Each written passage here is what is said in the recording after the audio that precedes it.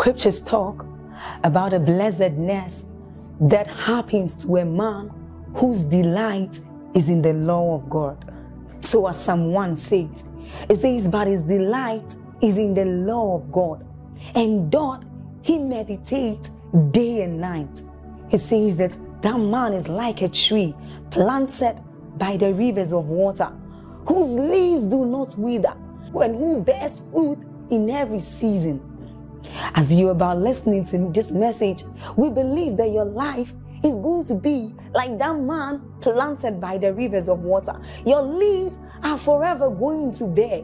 And we know that your, your season will not pass by. You will forever shine and you will forever bear fruit. We have a lot of content to share with you.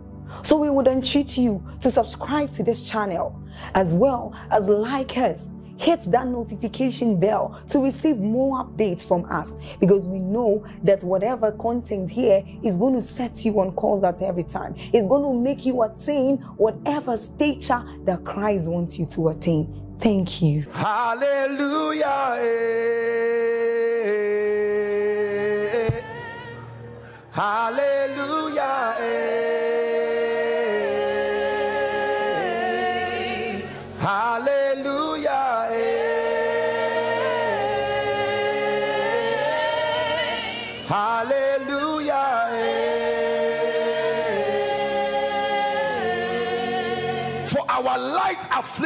Bible says, which worketh in us a far more exceeding weight of glory.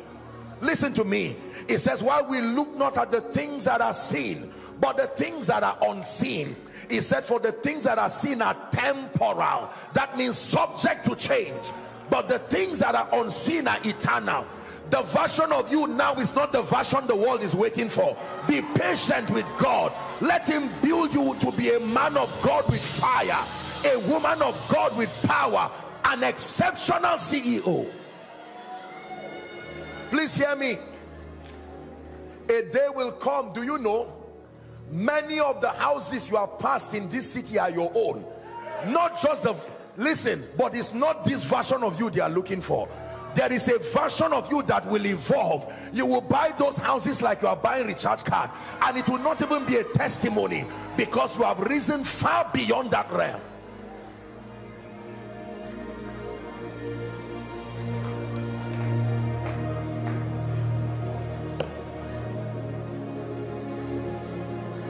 If you had seen my life, say maybe 20 years ago, it may not look like it now. The only thing that you may see that represents hope is vision, not results. Vision.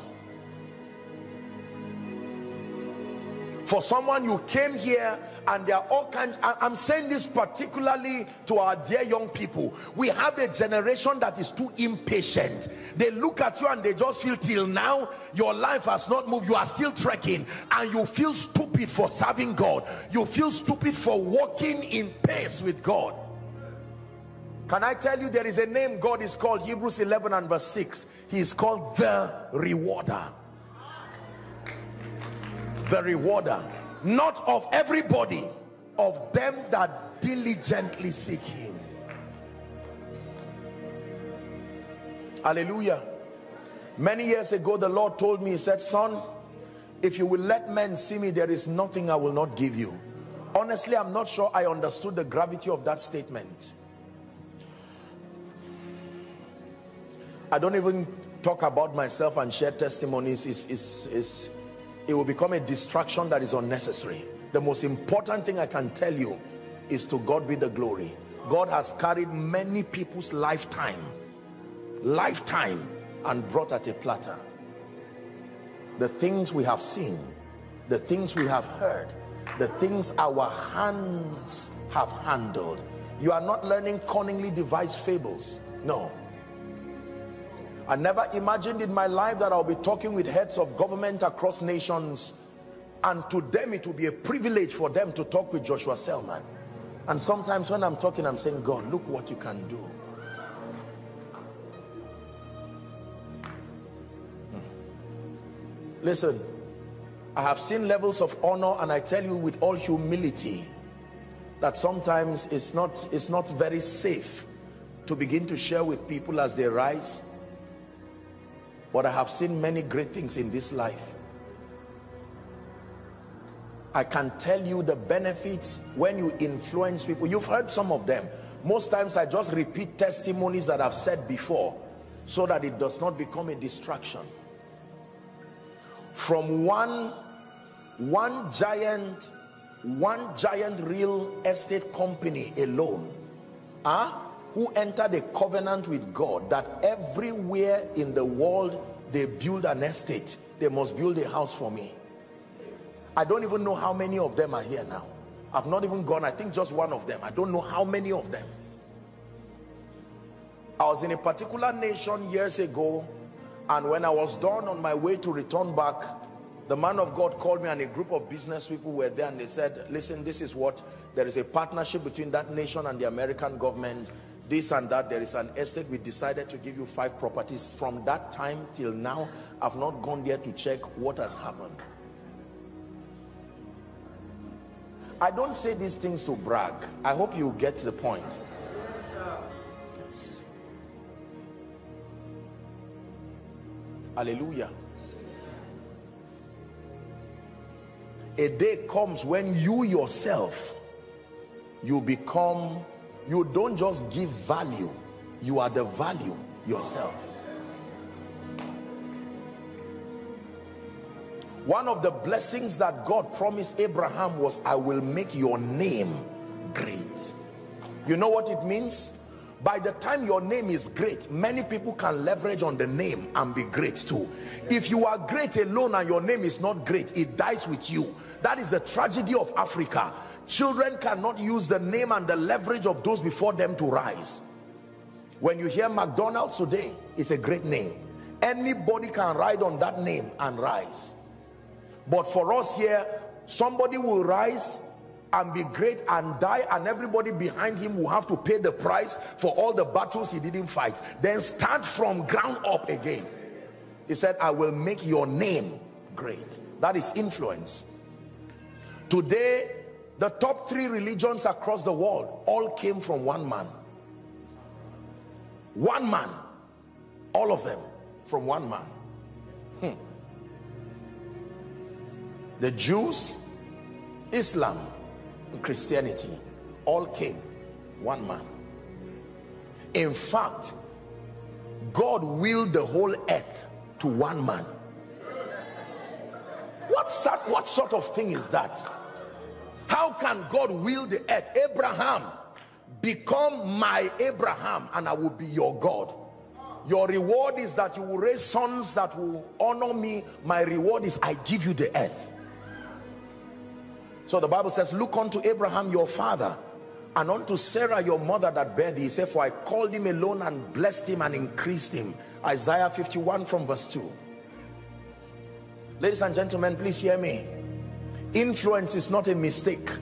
A generation will not follow you just because you want them to follow you. And it is not about social media and likes and follows.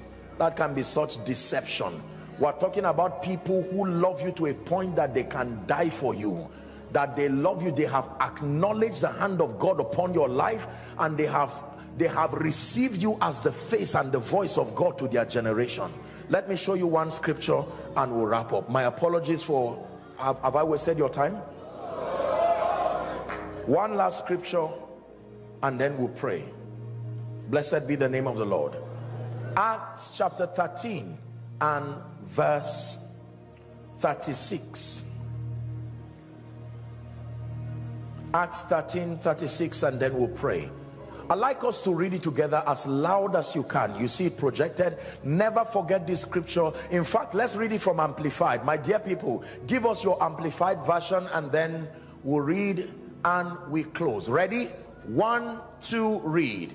For David, after he had served the purpose of God, in his own generation. Stop. Where did he serve? In his own. That means purpose and influence is generational. You are not going to serve every generation. When God calls you he does not just give you an assignment. He gives you an age range of influence from this to this. Listen the generation of our father in the lord baba Adeboye no matter how anointed i am even if i raise the dead in front of them they will love me and say apostle you are such a nice person let me go and listen to our father because he was sent to that generation are we together now the same way there are wonderful young people, as much as they love the fathers, they will listen to them and say, thank you. But something in them just says, I need, every generation is in a pursuit for the voice. All the voices that God has lifted. May you be one of them. That when there is a prophetic roll call, where are the voices apportioned for this generation? Let it not be that your bishopric another will take because of carelessness and insensitivity. This is what is, is at the heart of the intercontinental pastor to see how you can drive people to be relevant. Influence is about communicating the purposes of god as apportioned to your generation i made up my mind. I do not have the intention and the ambition of doing everything for that will be foolish. But as far as the context of my generation is concerned that we will shine the light and it will be so bright. It will be said that by the privilege of God's grace during our time we were able to do the much that we could do for his majesty. This is my drive. This is why I wake up. This is why I sleep this is why I travel. This is why I do everything that I desire to do. My call for you as I depart your city is that there is a voice of millions that are calling your name and saying we would have been more than this but some have died because you refuse to rise. Hear me. Man of God only God knows if you had walked with the Holy Spirit and kept in pace with your training by now you would have stepped into your season of manifestation. Somebody who died was allocated to your grace for their healing but because you refused to rise they had to go. How many more people will die every day because of your carelessness? This is the urgency that drives me. For every time I refuse to pray I know somebody in a nation or somewhere in this nation will pay the price for that carelessness. For every time I refuse to study my incompetence will have a direct effect on somebody's spiritual life. There are nations that depend on the truth we communicate for the continuity of their spiritual progress. I cannot afford to be careless is too much of a risk. Listen ladies and gentlemen we are going to pray. Your prayer is going to be to cry for grace and say lord in my lifetime i must represent the purposes of god to my generation. Open your mouth and from the depth of your heart pray. I don't know how you are going to cry to god oh but please don't look around. Cry to the god of heaven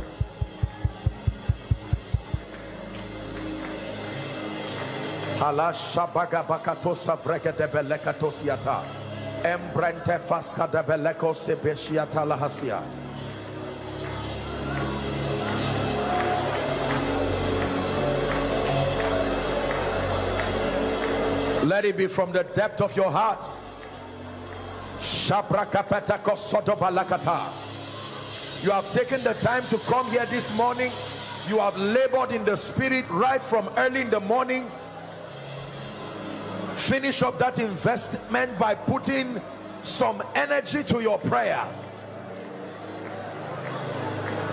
And David served the purposes of God in his generation. I obtain grace I obtain grace. Someone is praying. Hallelujah. Hallelujah. In the name of Jesus we're still praying. The bible says seeing then that we are surrounded by so great a cloud of witnesses it says let us lay aside every weight and the sin that doth easily beset us. And then it says to run with perseverance the race that is set before us. Looking unto jesus it says who is the author and the finisher of our faith who for the joy that was set before him the bible says he endured the cross and despise the shame. Someone is going to pray. Every weight weights are not necessarily wrong. They are just luggages that are unnecessary relative to where god is taking you to. Lift your voice and cry. Every weight every distraction could be friends could be activities could be mindsets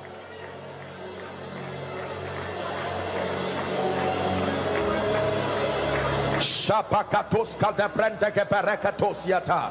Krapeta shavadekete brendeke belekatosiata. Egrekete betekatosko te brendeke belekata. Every weight, every weight, there is a great destiny. There is a great destiny. Someone pray. We're almost done. Someone pray. Let it be from the depth of your heart.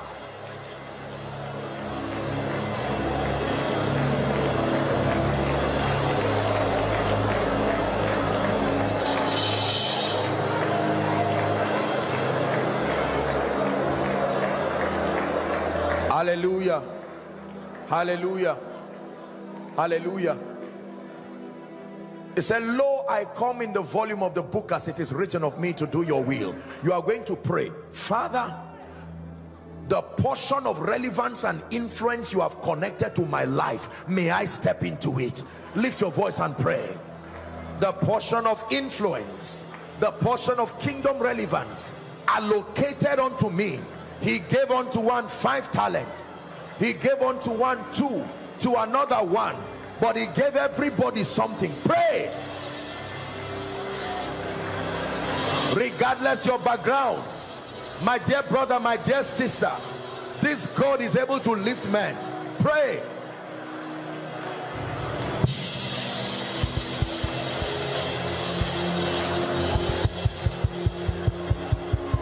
Shabeneke belakosh. Krapakata tebaros. Shabrandeke beratos kaliga.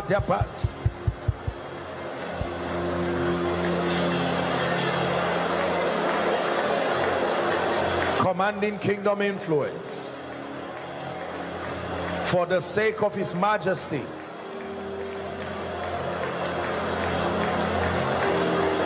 Hallelujah. For in Jesus' name we pray. Let me speak over your life now. You will be surprised to see what happens to your life after today. I'm on my way to better days. That will be your song. I'm on my way to better days. Regardless your background you're on your way to better days. You're on your way to better days. Hear me. Ladies and gentlemen, please listen. The assignment of the prophetic, among many other things, is to grant you access to the grace that will help you to rise to that place of destiny. For you see it is not given to you to honor yourself. You can respect yourself but honor is conferred upon you by another. I'm looking at people here this morning. Some of you have come from backgrounds like nathaniel said about jesus can anything good come out of nazareth sincerely speaking there are some of you if we are to be honest to analyze demographically speaking there is no advantage in terms of your earthly connection. You will need to outsource help from a dimension that is higher than your background. Please help those under the anointing because i want to pray. Something is about to come on you. This is my last assignment and then you leave. We do not just rise in this kingdom. It says thou anointest my head with oil and my cup runneth over he does not anoint the cup but i know what is on your cup by looking i know what is on your head by looking at the result on your cup. If your cup is empty don't blame the cup. It is because there is nothing on your head. The cup is a reflection of what is on your head. Hear me? I am a product of many anointings. Many anointings I have secured the blessing of many fathers by the privilege of God's grace. it is from the abundance of that which we receive that we give. He said look on us. And the bible says the man at gate beautiful looked at them expecting to receive something. And he says such as i have give i unto you. There are some of you you may be you may look small and silent. It looks like nobody has heard you but there is a prophetic destiny connected to you that you will so shake Port Harcourt, River State. I'm not just speaking in terms of ministry. There are emerging businesses that will rise from this conference. There are individuals who will be connected at a global scale. My assignment is to release that grace upon you. Your assignment is to receive. In the name of Jesus, the Son of the living God, I stretch my hand upon you. I'm releasing this grace the grace that causes nations to hear your voice receive that anointing right now. Take that grace right now. Take take that anointing right now. Receive that grace. Receive that grace. Take that grace now. Receive that anointing in business in ministry. I release that anointing upon you now. I release that grace upon you now hear me. The bible says and the king sent for joseph and they brought him out of his dungeon. I don't know who is the helper of your destiny but i want to call them by prophecy. I speak to river state. I speak over the south south. Everyone mandated by god to hold your hand in this season. Receive an anointing that attracts them to your life receive an anointing that attracts them to your life. Help them please. Receive an anointing that attracts them to your life.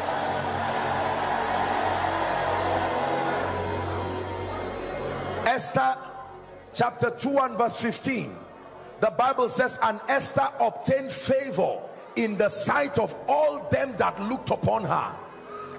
Verse 17 the Bible says she the king loved Esther more than all the virgins. Exodus chapter 3 and verse 21 and I will give these people favor in the sight of the Egyptians. And it shall come to pass that as ye go ye shall not go empty. Emptiness has an explanation. In the name of Jesus may this grace for favor rest upon you. Let it rest upon you upon your business upon your family upon your ministry. Hallelujah. Hear me. There is a grace for visibility. Neither do men light a lamp and put it under a bushel. He told abraham he said from where thou art lift up your eyes. You can look from where you are. You don't need to go anywhere. From where you are your hands may not get there your feet may not get there but your eyes can go there. From where thou art he said lift up your eyes and look northwards southwards eastwards that everywhere your eyes sees to you I have given us an inheritance. I want to pray for the grace to be visionary because you see vision is more than a psychological thing. It takes the spirit of God opening your eyes to see Habakkuk said I will stand upon my watch and set myself upon the tower and I will see what you will say unto me. In the name of Jesus may your eyes be open to see.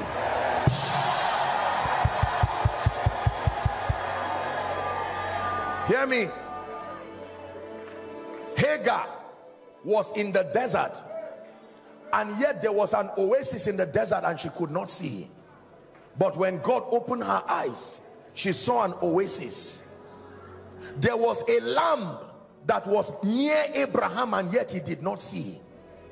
It was until God told him there is a lamb and he saw a lamb that had been caught. Only God knows the opportunities around your life and ministry.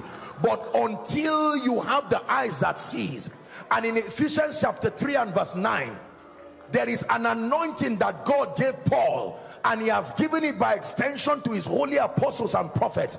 It is the grace that makes all men see. I decree and declare the miracle of open eyes. Receive it now. Receive it now. Capacity to see into what God is doing. In the name of Jesus Christ. We're wrapping up. Give me a minute or two. Something is happening to you I want to declare restoration and speed. Listen listen listen. Listen please look up. You see the unit of destiny is time. The unit of destiny is time. Hear me. Anything that takes your time has taken a portion of your life. Anything and one way that the devil aborts great destinies is to make you waste time through a mystery called delay. You know what delay is? Delay happens to you when the only thing growing in your life is your age.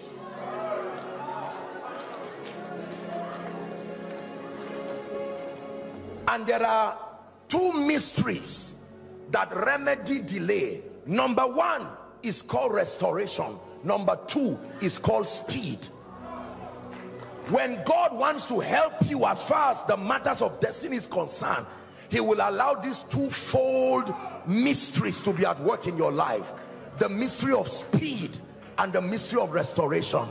Time can be restored. He said and I will restore the years. Speed can be given. Listen when when Jacob and Rebekah connived to act like Esau and they brought the venison for Isaac.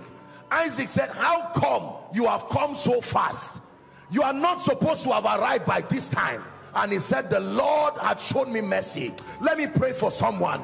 In the name of Jesus Christ I decree and declare by the power of the Holy Spirit everything that has left you that is not supposed to have left I stand by the mantle of the apostolic and the prophetic.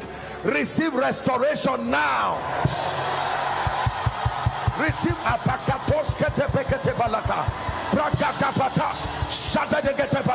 receive restoration. I place it on your head. I place it on your ministry. I place it on your business. I place it on your children. In the name of Jesus Christ.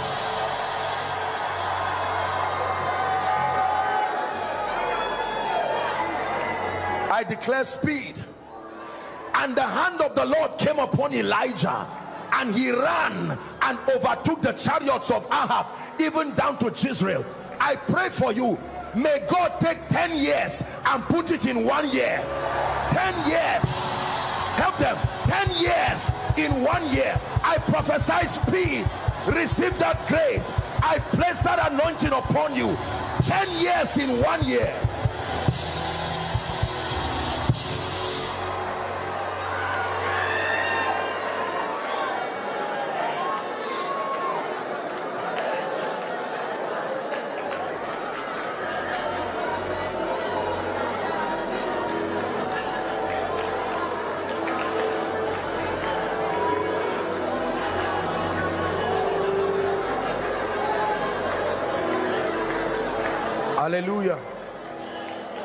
hallelujah. Hallelujah. My last prayer for you. Please listen. Hmm. You see we are made by these prophetic words we receive. They are not empty words believe me. There is a throne in heaven that backs these speakings. Hallelujah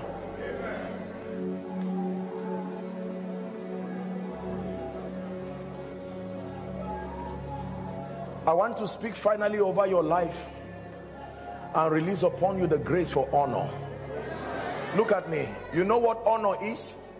Honor means to be acknowledged and rewarded to match your true worth. That means it is possible to be perceived less than your true worth. Is that true? When the grace for honor is upon you, it mandates that men acknowledge and reward the hand of God in your life to match the degree of your sacrifice. This is what many people lack in their lives. They do not lack value they lack honor. He said because thou hast loved righteousness and hated wickedness. Therefore, God, is that in your Bible? Even my God hath anointed you with an oil of gladness that makes you above your fellows. Joshua was already full of the Holy Ghost and the Lord instructed him in Deuteronomy. It says thou shalt take Joshua the son of Nun in whom is the spirit and thou shalt lay your hands upon him. And then it says thou shalt take some of your honor and give unto him so that the nation of Israel will hearken to him. Please look at me. This generation is too busy too selfish and in many cases too wicked to pay indefinite dedicated attention to you except there is a grace that compels it so. Do not ever think except you are you want balloon success where you are up today and anything that happens you are down in shame tomorrow. There is a grace that lifts men and keeps men. Hmm. But I know whom I believe he says and I am persuaded I'm seeing light come on that woman with black a black scarf. That woman yes. I just saw light like light coming on her.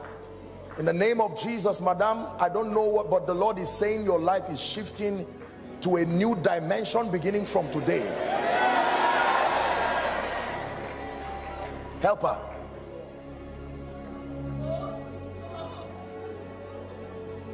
honor is a grace.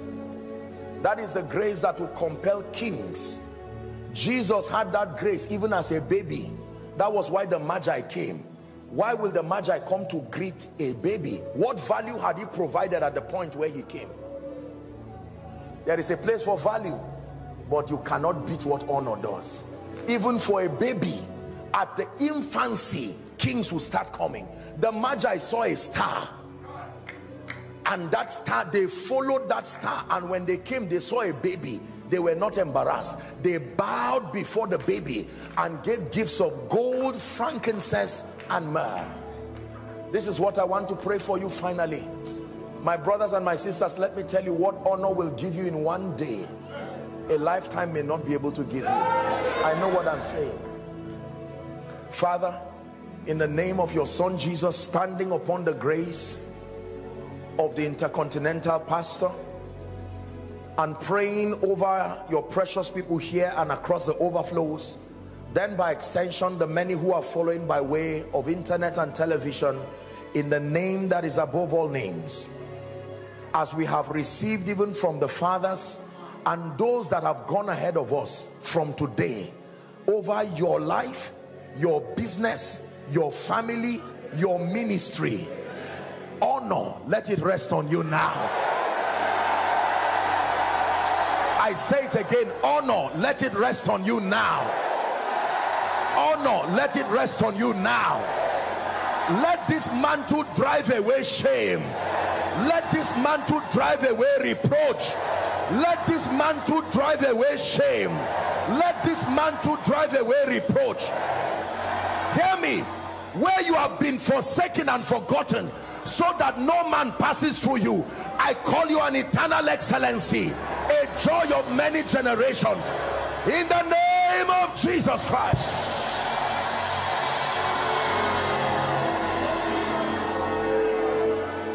May the lord bless you. Keep loving jesus. Keep serving him in truth. Do not forget the four pillars i have taught you do not forget all the teachings that came before mine and I pray that my God will lift you in Jesus name Hello.